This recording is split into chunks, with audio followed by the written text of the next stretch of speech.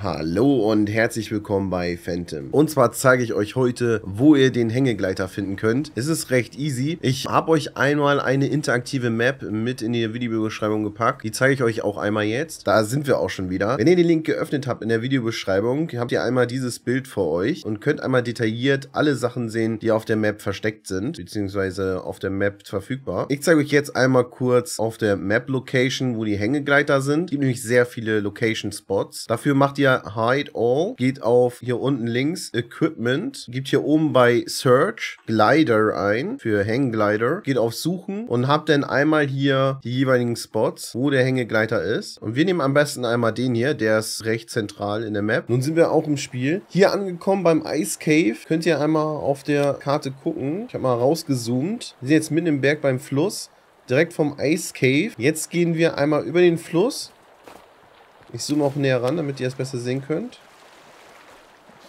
Gehen am Zelt rechts vorbei. Gehen den Berg hoch.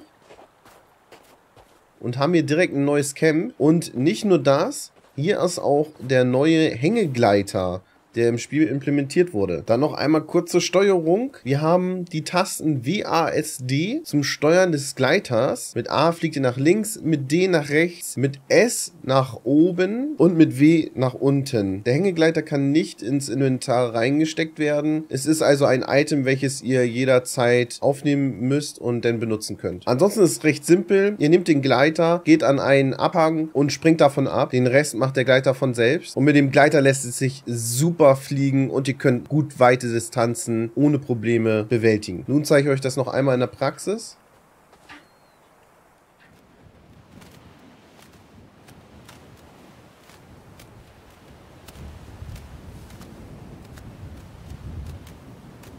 Wie ihr sehen könnt, lässt er sich sehr, sehr gut fliegen und einfach manövrieren und kann sehr schnell von A nach B gleiten.